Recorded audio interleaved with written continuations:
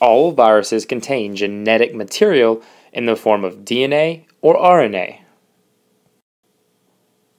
This genetic material is stored inside of a protein shell. That protein shell is called a capsid. Viral capsids can take a few different shapes. Most are helical or icosahedral. Some viruses, known as bacteriophages, have very complex structures. Some viruses are even surrounded by a layer of cell membrane known as the envelope. Viral envelopes are pieces of the membrane taken directly from the host cell that made the virus. Here you can see the envelope surrounding the capsid and the genetic material. Viruses also have protein surface markers surrounding their capsid. These proteins are critical to how a virus attaches to its host cell before an infection.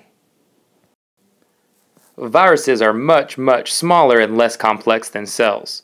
Even the largest virus is still much smaller than the smallest cell. Viruses are usually not considered to be living since they do not meet all of the requirements of life. Viruses are not made of cells, and viruses cannot metabolize nutrients. That means they can't synthesize or digest molecules on their own or perform energy conversions. However, viruses do have two very important things in common with living cells. They both have genetic material, and they both reproduce themselves.